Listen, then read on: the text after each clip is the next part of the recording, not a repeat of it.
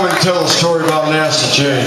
Sure, tell the story about Nasty Jean. Okay, well, we were, we were in El Paso and uh, the DJ wanted us to do one of the songs on the album and I said, hey, do Nasty Jean.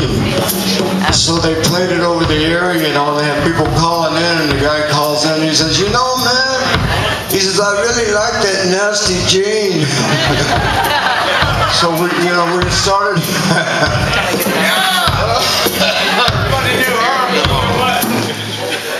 There was some guy I used to know.